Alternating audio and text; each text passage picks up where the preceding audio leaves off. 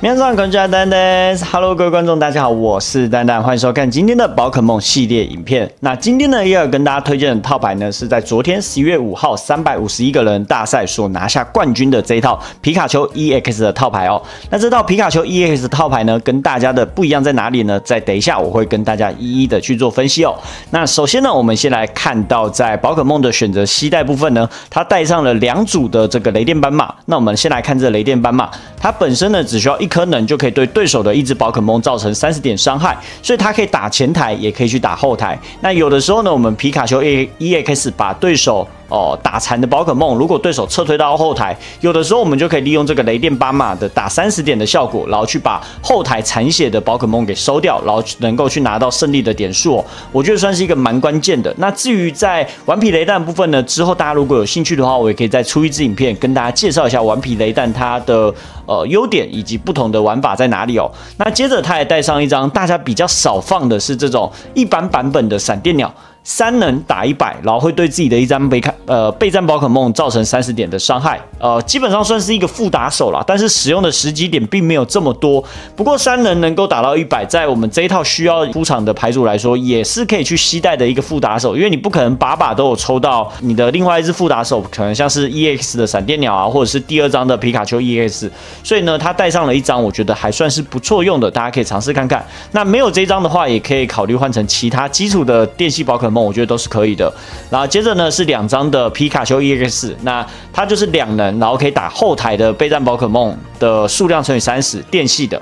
啊，所以我们一张就是两人打九十，所以以这套牌组来说，就是利用前台的皮卡丘 EX 跟后排铺满的情况下去做到一个第二个回合打九十点的速攻的一个牌组，我自己觉得算是现在环境当中速攻能力非常非常强的一套牌组。那接着呢是带上了两张的闪电鸟 EX，因为我自己只有一张，所以我带一张而已。但它原始的构筑是两张啦，我是把一张的位置给到了基础版本的皮卡丘啊。那如果你你有闪电鸟的话，就记得带满闪电鸟。那带这闪电鸟呢，最主要是它三能有机会打到两百，因为在这个环境当中呢，可能会有这种妙花花，大家来打这个比较扛的这种牌组，血线很高，然后约回血，你单用这个皮卡丘是。哦，戳不过去的，所以你有可能两下的皮卡丘打一百八都没办法斩杀，所以呢，哦，他带上了一张闪亮 EX 去做这个副打手的补伤害，甚至有机会啊。众所皆知，宝可梦 TCG 就是一个靠赛游戏啊，你硬币翻到四次，两百点直接带走也是有可能的。这张呢，我觉得算是蛮重要的一个副打手。那这边的话会带上两张，接着呢，我们来到了道具卡部分，那一样是带上两张撤退，两张精灵球跟一张的干扰红牌。基本上这个版本的不管是道具或者是支援者，其实数量没有有很多，所以大部分的选用都大同小异啦，所以大家可以看看就好。那接着来到了支援者部分呢，也是两张的博士做过牌，跟两张的板木去提升我们的伤害，然后跟两张的这个纳兹，因为我们刚才提到嘛，在这一套来讲，我们是一个速攻牌，有的时候把对手前台往后推，对手就上一只可能呃比较血线比较低的，可能九十以下的这种基础宝可梦，那我就可以利用这个皮卡丘。EX 去快速的累积到我们的胜利点数，然后进而去获得胜利哦，大概是一套这样子的套牌啦，大家可以尝试看看这个构筑，在现在不管是比赛啊，或者是平常自己在玩的游戏的环境方面来讲呢，绝对是一套非常非常强悍的速攻套牌哦，所以大家有兴趣的都可以来尝试看看哦。好的，那我们就废话不多说，马上就我们的实战片段来看一下这套皮卡丘 EX 要怎么玩吧。好，那这边来到我们的实战片段哦。那这把我们拿到一个新手。那新手的话，我们来看一下我们的手牌。哦，我们手上是有一张速度强化的，所以可以撤退。那我们把一般的皮卡丘放在前面好了，然后 EX 放后面，我们放在后面养。再等一下先攻的第三个回合再去做收头，不不是收头啊，在先攻第三个回合再去做那个换上去，然后打伤害。哦，那这边的话，我们可以考虑直接把场给铺满了，我觉得没什么问题。然后因为这版本牌池不够深的关系，所以其实大家能带的资源牌啊，以及道具牌啊，其实蛮相近的，所以很多人都会携带到这个红牌去做干扰。那所以这个版本，这版本如果像我后手的话，后手如果有宝可梦能够下满，我通常呃就是呃应该说。不会影响到运作的前提下，我就把它下满。毕竟我被洗手牌很亏，你看他家四手，我这边洗了，他就等下会亏一手。所以还是蛮亏的啦。所以我自己在能下的情况下会下了，大家可以参考看看这个打法。那我们这边就直接干扰他，让对手少一张。然后我们台已经铺起来了，所以等一下可以赶快去打伤害了。那对手的话是一个超梦牌，没错，是在我们昨天介绍的，只是他有带上这个魔强人偶。这魔强人偶的话，大部分也是来开扛的。这边进雷电斑马，但对我们来讲没什么用，我们就填能，然后回合结束。下个回合才是我们开始打人的回合。只是他等一下会开这个屏障攻击，会有一个减二十点伤害效果，所以必须打一百他才会倒。可是我们现在手上没有板木，有点小尴尬。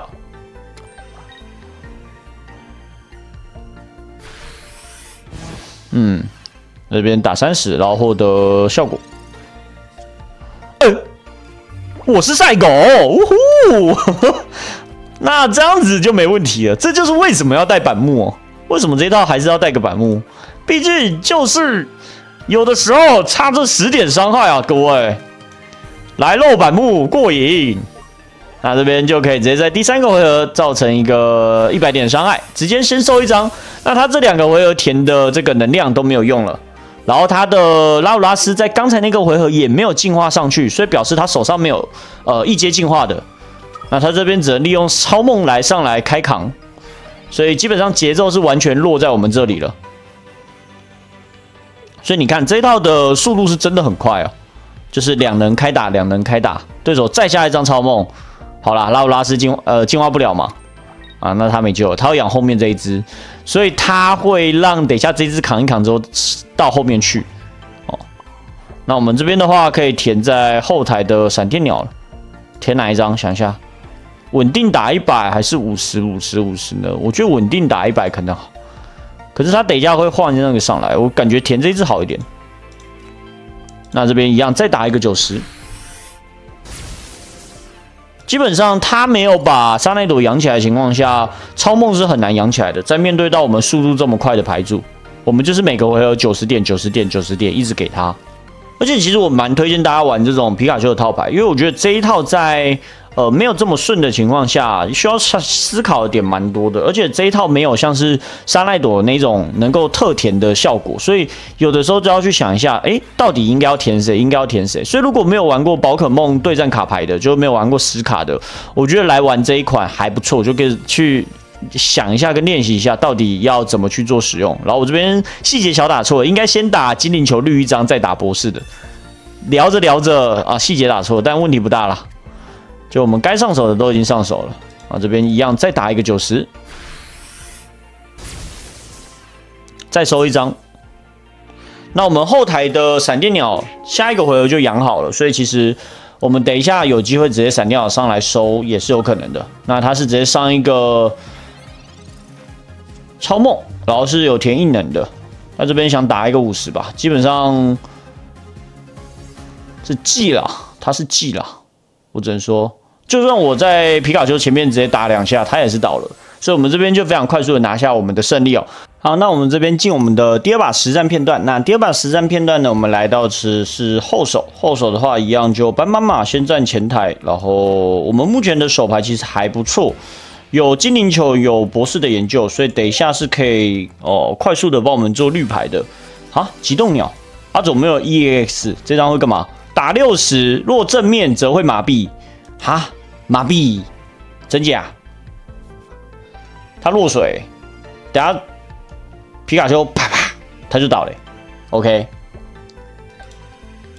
那可能有一些观众是没有看过我的其他影片的，可能是因为这次宝可梦才认识我的。那还是跟大家讲一下，就是呃，在这个频道的话呢，如果我们的影片时间长度我觉得还 OK 的话，就有机会出到两场的对战的影片啦，就。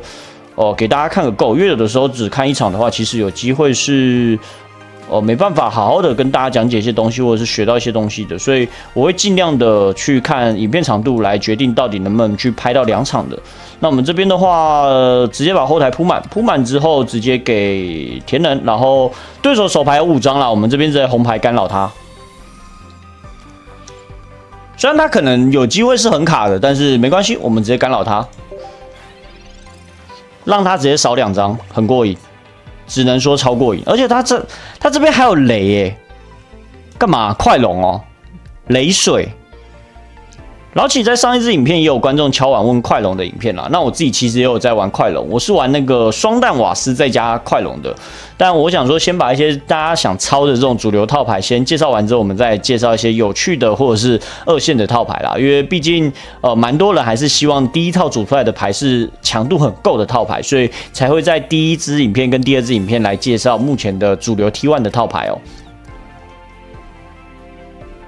然后回到刚才的话题，就有些观众可能还不认识我。那基本上我这个频道就是专打卡牌游戏的频道。哦，那我自己也是玩过很多的实体卡牌，然后也做过很多的卡牌影片。